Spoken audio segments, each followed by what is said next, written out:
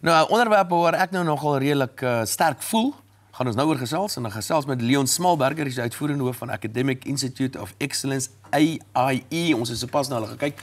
Goeiemôre Leon en baie welkom. Baie dankie. Ek uh, vertel ons 'n bietjie van AIE se geskiedenis en waar kom julle vandaan en waar kom dit vandaan en so.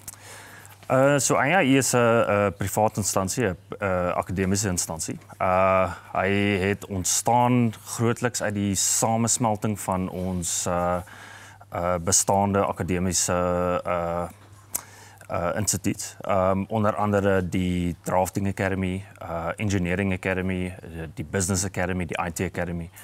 Uh dit het op 'n tyd gekom wat ons gevoel het uh om soveel uh, instansies te uh dat dit beter gaan wees om alles regtig onder een uh een sambreel te sit. Uh, -huh. uh en dit is ook maar gedryf deur uh, ek dink die veranderinge wat ons sien uh, en wat kom in die industrie uh, en wat ons wil doen as 'n uh, as 'n instituut. Nou maar dit is nou risie volgende vraag want ek wil nou weet hierdie jy, jy praat van 'n eksponensiële ontwrigting.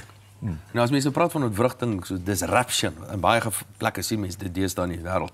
So in spesifiek in hoër onderwys. Wat beteken dit en wat wat bedoel jy daarbey wat beplan julle daar rondom?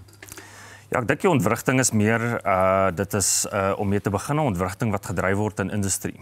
Uh ons weet dat ons in 'n tyd van uh, veranderinge uh, yeah. uh, op pad is. Ehm um, van goed waar uh, waar verandering uh, heeltemal uh, van ons industrie gaan uh, uh, gaan verander. Ehm um, van hulle gaan dit weghardloop uh van dit uh 'n splinter nuwe industrie. En ek dink dit is belangrik vir 'n akademiese instituut om om seker te maak dat die leerders wat ons wat ons in die mark insit yeah. is ja. voorberei daarvoor. Uh en dit gaan van 'n voorbereiding tot van tegnologie tot die uh voorbereiding emosioneel om verandering ja. self te kan hanteer. Hmm. En julle studiemetodes, eh, roem julle op is baie uniek. Wat maak julle studiemetodes so uniek? Ja, ek dink ons het 'n uh, 'n uh, 'n proses begin om weg te beweeg van die tradisionele uh klas um 'n uh, toespraak gebaseerde uh uh omgewing. Uh ons het uh, metodes van ons uh korrespondensie tot ons uh wat ons noem ons mentorship of ons my way method. Uh dis baie meer gefokus op die uh, op die uh, individueel. Uh hulle word gementor deur werk eerder as om uh, geforseer te word ja. teen 'n skedule.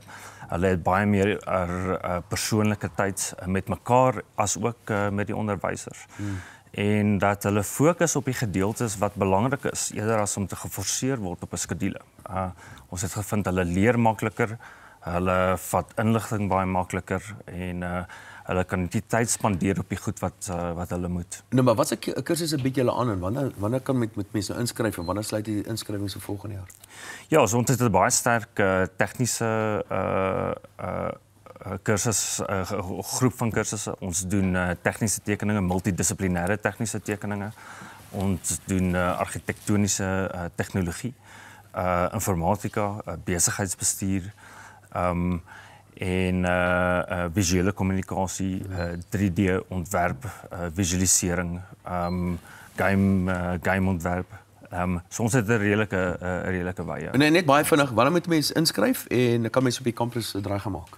Ja, ons het 'n oop dag uh 1 Desember ja. en ons inskrywings sluit toe van enigiets van Januarie tot met Februarie. Leon Smalberger baie dankie vir vanoggend by ons het raak gemaak. Hy is uitvoerende hoof van Academic Institute of Excellence en ek moet vir julle sê in die toekoms is dit waar onderwys hier in op pad is. Die private sektor gaan dit al meer en meer doen. Dankie dat jy vanoggend by ons het raak gemaak het. Maak seker dat jy kinders die nodige vaardighede in die wêreld ingaan.